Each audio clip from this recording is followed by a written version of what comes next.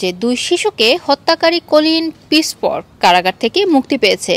আর এটি নিশ্চিত করেছে যুক্তরাজ্যের বিচার মন্ত্রণালয়। লিস্টার শায়ারের পনেরো বছর বয়সী লিন্ডা ম্যান অ্যান এবং ডন অ্যাসওয়ার্ডকে ধর্ষণ ও হত্যার জন্য উনিশশো অষ্টআশি সালে তাকে জেল দিয়েছিল দেশটির কোর্ট।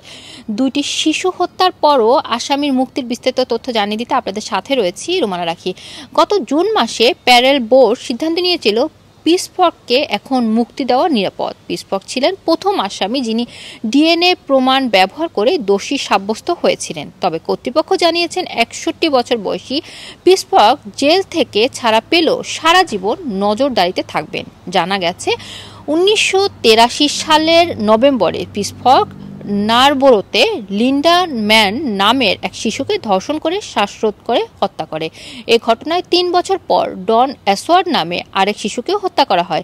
এসব হত্যাকাণ্ডের পরে হত্যাকারীকে ধরতে ডিএনএ প্রোফাইলিং প্রযুক্তি ব্যবহার করে যুক্তরাজ্যে প্রায় পঞ্চাশ হাজার পুরুষের ডিএনএ টেস্ট করা হয় এবং পিসফক ধরা পড়েন সেই ডিএনএতে। এরপরে উভয় হত্যার দোষী স্বীকার করেন এবং উনিশশো অষ্টআশি সালের জানুয়ারিতে তাকে যাবজ্জীবন কারাদণ্ড দেওয়া হয়। এই বছর শুরুর দিকে একটি শুনানির পর যুক্তরাজ্যের প্যারেল বোর্ড সিদ্ধান্ত নেয় যে পিসফর কারাগার থেকে মুক্তির সমস্ত মানদণ্ড পূরণ করেছে। শর্ত সাপেক্ষে তাকে মুক্তি দেওয়া যেতে পারে। তবে তাদের এই সিদ্ধান্তকে বেশ কয়েকজন সাংসদ এবং ভুক্তভোগী পরিবারের সদস্যরা অযৌক্তিক দাবি করে আদালতে চ্যালেঞ্জ জানায়। কিন্তু জুলাই মাসে আদালত তাদের আবেদনকে খারিজ করে দেয়।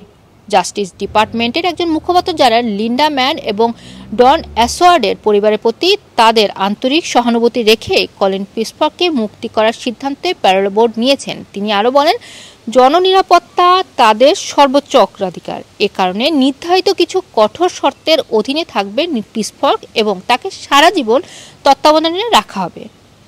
এই ছিল আমার কাছে সম্প্রতি যুক্তরাজ্যে ছাড়া পাওয়া একজন দণ্ডপ্রাপ্ত আসামি সম্পর্কে বিস্তারিত তথ্য। বিশ্বের গুরুত্বপূর্ণ এমন সব তথ্য জানুন রানারের ইউটিউব ও ফেসবুক পেজে। ব্রাউজ করুন আমাদের ওই page W W W Runner Media twenty four dot কমে